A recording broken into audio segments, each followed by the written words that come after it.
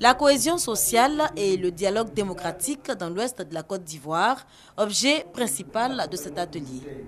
À travers le projet dénommé Promotion du dialogue démocratique et de la cohésion sociale dans l'ouest de la Côte d'Ivoire, le Centre de recherche et d'action pour la paix, CERAP, entend renforcer le dialogue communautaire et la démocratie participative dans les localités telles que Toulepleu, Blolequin, Soubré, Bangolo et Saint-Fra. Après six mois d'activité sur le terrain, un bilan à mi-parcours. Nous pensons qu'il y a eu beaucoup de travail qui a été fait. Il y a encore du travail à faire, mais il fallait déjà aller vers ces populations qui ont été déchirées par la crise post-électorale. Euh, amener donc ces communautés à ne plus se voir euh, comme adversaires ou ennemis, mais à chercher à se voir comme étant euh, concitoyens, comme étant des partenaires sociaux.